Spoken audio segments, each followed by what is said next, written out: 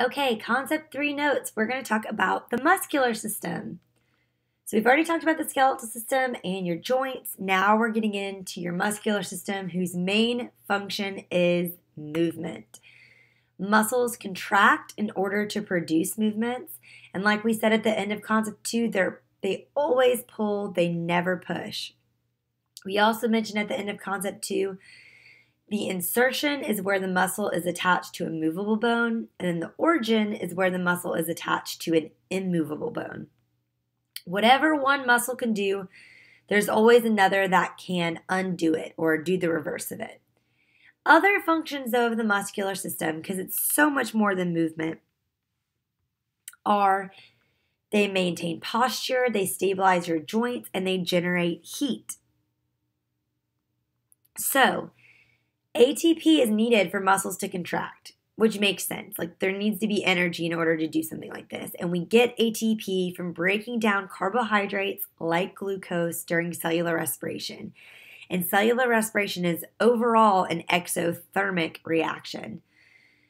So, therefore, muscle contractions give off heat as a byproduct of doing cellular respiration to provide the ATP for the contraction.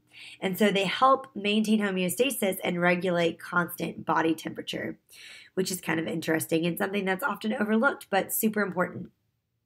So, as always, we're going to start with talking about how muscles can be classified. So, we can classify them functionally into three groups. First are your prime movers or your agonists. These are muscles that are most responsible for producing a certain movement. So they're like the big player. So, for instance, in a bicep curl, um, your biceps brachii are the muscle that like that's like what's bulging when you curl. We can kind of see it right here. Is the prime mover in forearm flexions. Remember we talked about in concept two that flexion is is bringing um, is is decreasing this angle in the joint. And so that's what we see here. So that's going to be the prime mover there. The other another functional classification is the antagonist. So it's going to do the opposite. It's going to oppose or do the reverse of a certain movement. So usually stretched or relaxed when the prime mover is active.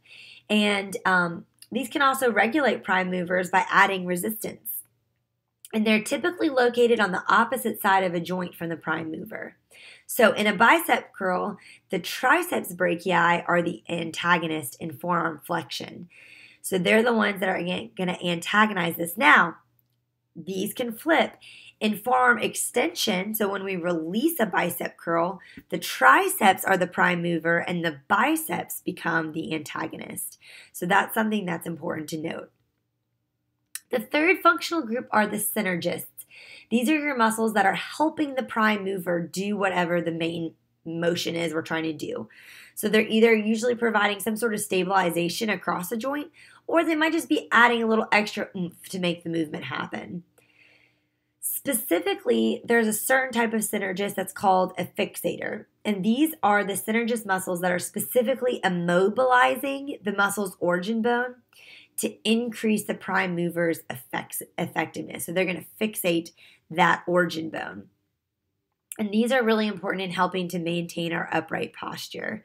So, back to our bicep curl example, these two structures aren't pictured here, but you'll get to see them um, when you do your discovery stations of the muscular system. But the um, brachioradialis and the brachialis, which aren't pictured here, are synergist. So they're helping um, the biceps brachii with that forearm flexion. Um, the brachialis is under your biceps brachii and it's usually contracting simultaneously with it. Um, and then your brachioradialis is in your forearm. Your rotator cuff muscles and your shoulder joints also are important in this. They act as fixators and add some stabilization there as you do this movement. So, this is where we'll pause in class and we'll learn about the different names of muscles and which ones are movers or prime movers and antagonists and all that. But for the sake of the video, we're going to keep moving on. So let's do a little review before we get into the structure of muscles, a little histology review from Unit 1, Intro to Anatomy. If you remember, there are three types of muscle tissue. There's your cardiac muscle tissue, which is striated. We can see that in our picture here and it makes up your heart. Um, this type of tissue contract, con- contracts involuntarily to pump blood throughout your body. Your smooth muscles are non striated, as we can see, and they make up the walls of your visceral organs, and they also contract involuntarily to propel objects or substances down internal passageways. But the ones that we're going to really talk about in this concept specifically are your skeletal muscle tissues. These are striated muscles that are generally attached to bones and they contract voluntarily to produce movement. And that voluntarily part is extremely important. This makes the connection between the muscular system and the nervous system really critical. So we'll talk a bit about the nervous system at the end of these notes. Fun fact is I think this is fascinating. Every muscle is considered its own organ. Remember, an organ is two or more types of tissue working together for a common function. So it's mainly made of muscle tissue, specifically skeletal muscle tissue, but there's also blood vessels and nerves and connective tissues too. So your skeletal muscles use so much energy that each one has their own nerve for signaling those voluntary contractions. They have their one artery and one or more veins that are going to serve its functions. So we obviously need the nerve for that um, stimulation of the muscle contraction since they don't contract voluntarily.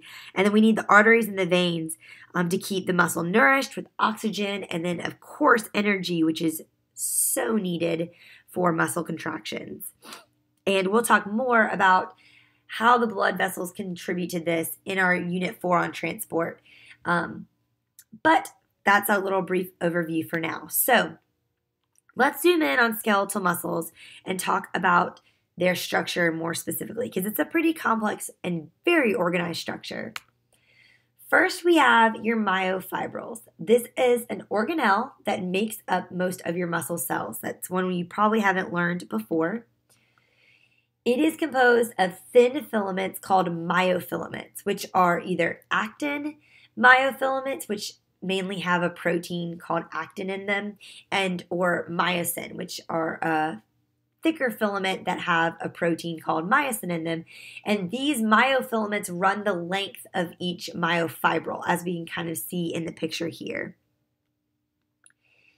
if we take a myofibril, so if we take this organelle and we kind of subdivide it lengthwise, those are called sarcomeres, and they are the contractile unit of the muscle.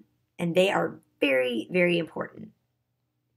And we'll definitely be talking more about them. Now, myofibrils are these tiny thread like organelles, and they get bunched together to form a muscle fiber, which is essentially the muscle cell. So, muscle cells are muscle fibers, they are specialized specifically for contraction. So, what do they need to do that? They need multiple mitochondria, which makes sense because they need to have access to lots of energy. They have nuclei. They have a specialized endoplasmic reticulum called the sarcoplasmic reticulum, which we can kind of see on the outside here. They have cytoplasm, which is called sarcoplasm, and their cell membrane is called the sarcolemma. And then they have that organelle we just talked about, these myofibrils, which are critical for contraction. Um, 80% of a muscle cell is these myofibrils. All the other organelles are squeezed around the myofibrils, and they're really large oval cells. They have a diameter anywhere from 10 to 100 micrometers, which that may mean nothing to you, but it's essentially up to 10 times larger than the average body cell. And they can be upwards of 30 centimeters long. A muscle cell could be that long. That's crazy. They have some other structures too, like glycosomes, um, which are granules of stored glycogen that help produce glucose um, when we need ATP. And they also have myoglobin, which is a red pigment um, for storing oxygen. But these are the main ones I want the people in my class to know. Now, muscle fibers bundle together to form fascicles. So each one, each fascicle is just a bundle of muscle cells, as you can see in the picture. And then these fascicles get bundled together to form the muscle organ. And your muscle organ is made of hundreds to thousands of muscle cells or muscle fibers, plus connective tissues, plus blood vessels, and plus nerve fibers. So we're going to talk a little bit about those connective tissues first. There's three different connective tissues that wrap around different parts of the muscle in order to support it. One's the epimysium. This is around the outside of the muscle. The perimysium wraps around each fascicle, and then the endomysium surrounds each muscle fiber. And these are so important for support and reinforcement and just really holding this muscle's complex structure together. They also keep your muscles from bulging, uh, or your bulging muscles from bursting, excuse me, in a really strong or intense um, muscle contraction. And then your epimysium and your perimysium, those first two I mentioned, those are dense, irregular connective tissues. And then the endomysium is a fine areolar connective tissue, if you remember talking about those in Unit 1. And your connective tissues are continuous with the tendons that are joining your muscles to your bones. And then they also serve as routes for your blood vessels and your nerve fibers that are going to innervate the muscle. So they're just super, super important. So important that in my class, we're actually going to stop here and we're just going to zoom in on the structure for a minute and make sure you really, really understand it by building a model of the muscle. But again, for the sake of the video, we're going to keep pushing through and talk about what is this muscle contraction that's going on that makes movement happen. Well, again, the sarcomeres are the key here. That's the contractile unit of the muscle. If we go back to our big picture diagram, it's remember the section of the myofibril. So each myofibril is just a chain of sarcomeres, and each sarcomere is separated by Z discs or Z lines, they can be referred to, which are the borders on each end. So that's how you can tell what a, one sarcomere is. It's the between the Z discs. This would just be a picture that's like a close up of a myofibril. Um, the section from one Z disc, Z disc to the next is a sarcomere. So the thick filaments are um, a myofilament that contain a tra- contractile protein called myosin. That's like the purple ones. And then the thin filaments are a, um, a myofilament that contains a contractile protein actin. So we're going to refer to them as actin and myosin, and they are so important. So, um, oh, also, I should mention the thin filaments that actin also contain other important regulatory proteins called tropomyosin and troponin. Um, but I'm not going to get into those until a little bit later for my advanced classes. And then there's also these I bands, A bands, and H zones. And I don't, it doesn't, I'm not going to have you label those at any point. I care more about what we're about to talk about next for my students. So that's this thing called the sliding filament model. So what's happening? When a contraction occurs, this is how a sarcomere changes. So look at these two pictures. Notice what's different. Okay, the Z discs, for instance, are closer together. So the sarcomere is showing contraction. The H zone basically disappears as these actin pull together. And notice the myosin length doesn't really change at all. So here's what's going down. Muscles contract because sarcomeres contract when the myofilament, myofilaments, excuse me, are sliding past each other. The heads of the thick myosin filament grab onto the thin actin filaments and they pull the thin ones so that they slide past the thick ones. And it yields more overlap of the actin and myosin filaments, and thus a shortening of the sarcomere. So that's how the muscle contraction is happening. And this is occurring simultaneously in sarcomeres all throughout the cell, which is what leads to the whole muscle cell shortening. And eventually we'll talk about the whole muscle itself. So, what are the details? All right, my non honor students, I'm not going to make you know these, but we're going to go through them for my advanced students and just for the sake of understanding the complexity. So, myosin, those thick filaments, want to touch actin, your thin filaments, so badly, but they can't do it without two things energy from ATP and access. So, remember, I mentioned there's a regulatory protein called tropomyosin it's blocking the actin, so the myosin can't get to it. So, first, how does the myosin gain access? Well, your neurons signal an action potential in a muscle cell that's going to trigger calcium channels in your sarcoplasmic reticulum to open and release calcium that's stored there. Calcium is going to grab onto troponin, which is another regulatory protein I mentioned. The troponin just grabs onto the tropomyosin and pulls it out of the way. So now we have access. Now, we need the energy to actually do something about it, though, and that comes from ATP. So, myosin grabs an ATP, it rips a phosphate off. If you remember from biology one, if we remove that third phosphate, that's where the majority of the energy is stored. So, energy gets released. And that's the energy that we need to bind the myosin to the actin, which is called a power stroke. And that's what creates the muscle contraction. In order for the muscle to relax, that ADP and the free phosphate that get ripped off, they unbind from the myosin and they allow fresh ATP to come and bind in. And that causes the myosin to release from the actin until the new ATP will then be broken down to release the energy needed to grab the actin again. And there's a great video we'll watch about this. Now remember, where does this ATP come from in the first place? Go back to the basics of biology one. It comes from breaking down carbohydrates like glucose during cellular respiration. And they get delivered to the muscle cells via the blood that's in the artery that is nourishing the muscle. So that's really, really important. And so that's why your muscle cells need lots of mitochondria. They need the blood vessels constant, constantly supplying um, sugar so that they can be broken down and get the ATP.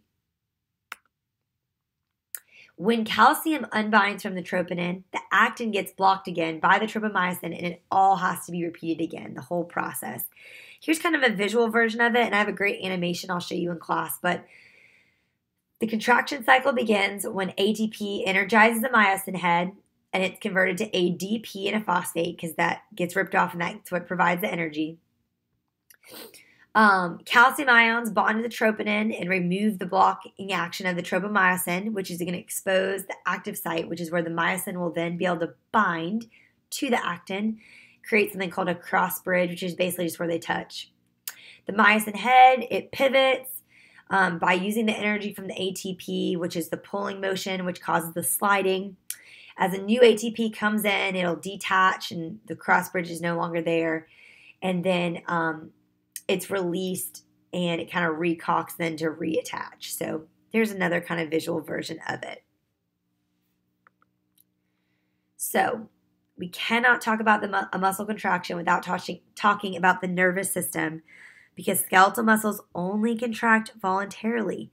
So they can't just contract unless something stimulates them. And we haven't covered the nervous system in my class yet. So this is going to be a brief overview. It'll make more sense once we do unit three and we talk about it. Um, but again, contractions are only happening if they're activated or stimulated by the nervous system. And the nervous system does that by using somatic motor neur- neurons to connect with skeletal muscles and signal for them to contract. And this is important. Neurons and muscle cells are excitable cells, meaning we can get them to respond to external stimuli by changing something called their resting membrane potential. And that's going to yield a signal that's going to cause things to happen. So, resting membrane potential is the voltage across the cell membrane. It's usually between negative 50 to negative 90, um, which is what we can see right here in this picture. This would be the resting membrane potential.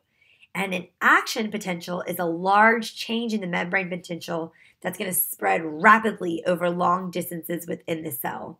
So essentially, it's going to be a movement of ions through ion channels that are going to create this large change. So they're going to cause a depolarization and then a repolarization.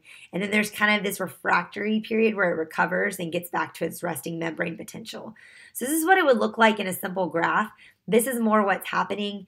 Um, the sodium potassium pump that we mentioned in unit one is so critical for this. But you can kind of see you have your resting potential. Your action potential is um, begins when there's a depolarization. So we're pumping and, and creating an imbalance here. And then um, we kind of get back to normal here with the sodium potassium pump being utilized. So the somatic neur- motor neurons that activate the skeletal muscle fibers for contraction, they're mainly located in your spinal cord. Their neuron cell body, which is what's pictured here, and the spinal cord has this extension called an axon. That's this whole part that connects to the muscle fiber that it's signaling, wherever that may be.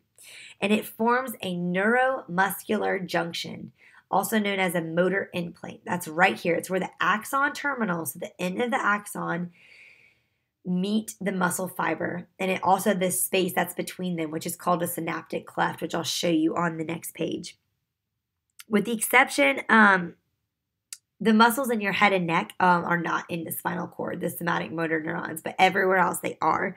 And every muscle has one nerve, which can have a ton of axons, which can signal a, or have hundreds of motor neurons um, that then they're going to signal all these different skeletal muscles. So, um, oh, another name for neuromuscular junction, because why not have three for the same thing, are myoneural junctions. So, just so you're familiar with that. All right, let's look at a um, neuromuscular junction in the synaptic cleft a little bit closer. So, this would be like zooming in right here. So, look at this on this picture. This is what we're seeing like right here if we zoom in, which you can also see here. So, zooming in on that connection point, action potentials don't move from cell to cell. So they have to be converted to neurotransmitters, which are chemical messengers that can di- then diffuse through the synaptic cleft, which is this gap between your somatic motor neuron and your skeletal muscle cell and in order to spread the signal. So that's what's happening here is that these neurotransmitters are going to go through and then get into here and then do the signaling that they need to do acetylcholine ACh is the neurotransmitter motor neurons use in muscle contraction and that's really important so that's what's traveling through this synaptic cleft in order to send the signal to cause stimulation so essentially details what's going down. A motor neuron fires an action potential. So here's our motor neuron. It's going to fire this action potential down its axon. The motor neuron's axon terminal, which we can see zoomed in right here, so we're looking at this zoomed in, is going to release acetylcholine into the synaptic cleft. The acetylcholine binds to receptors on the muscle fiber cell. Cell membrane, remember the cell membrane of a muscle fiber is called the sarcolemma.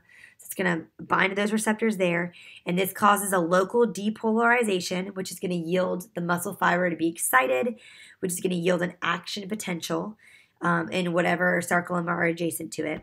And then that signal causes the sarcoplasmic reticulum to release that calcium, which is really important, we said, to provide access for the myosin to the actin, because the calcium binds to troponin, which moves the tropomyosin out of the way, and the contraction can happen. This is all what's going down on a completely detailed perspective. And there's a bunch of other words that are important to know too. I'm not just going to lecture through a bunch of vocab for you. You're going to read these and learn these um, for yourself that we can keep doing talking big picture stuff. So let's get out of the details. Let's talk big picture. How can muscles increase their force of their contraction? Well, there's a couple ways, but here are three. One is they can increase the frequency of their motor neuron stimulation. And the more frequently they're stimulating the motor neurons, thus they're stimulating the whole motor unit and thus the whole muscle contraction. The sarcomeres are not going to be able to relax if they stay contracted. So um, that's what this frequent stimulation is going to do. We can also increase the number of motor units and thus the number of muscle fibers that are being stimulated. And then we can also increase the size of the muscle fibers. The bulkier the muscle, which results from more regular resistance exercises and resistance training, the more tension that can then build up in the muscle fiber and um, create allow it to endure more force applied to it. And there's some pretty cool physics connections to what's going on in your muscles and in your joints in your body that I wanted to mention in our last few slides. Your muscles act with bones to just basically form lever systems. Our bones are like the levers, and our joints are like the fulcrum. So the lever is what's in black in these pictures, and the fulcrums are the joints, which are in blue. A lever is just a rigid bar that moves on a fixed point, which is the fulcrum, when a force is applied to it. An effort is that applied force, and it's used to move some sort of resistance or load. A muscle contraction creates the effort that is applied to the insertion bone, which is the load. And if the effort is further from the fulcrum than the load is, then there is a mechanical advantage, like we would see in this picture. If the effort is nearer to the fulcrum than the load is, then it kind of creates something called a mechanical disadvantage, which can actually be a good thing too. So there's three types of levers, and I'll give you an example of each in the body, and then we'll be done. I know this has gotten a little long. First class lever. If the effort is applied at one end of the lever and the load is at the other, with the fulcrum in between. So load on one end, applied force or effort on one end, um, and then we've got the fulcrum. It's like a seesaw or scissors, how they work. And this is how it works in the lever that's in your that raises your head from your chest when your chin's down. Another type is the effort um, or the applied force is applied at one end of the lever and the fulcrum is at the other, and then the load would be in between. This is like how a wheelbarrow works. And an example is like when what allows you to stand on your toes. That's exactly how it's going there. And then lastly, the third class lever is the effort is applied between the load and the fulcrum. So this is like how twe- tweezers or forceps work. And that's how the lever system in your bicep curl works as well. And I think these diagrams are super helpful. The words don't make as much sense to me as the diagrams do, so I hope they help you too. And that is the muscular system.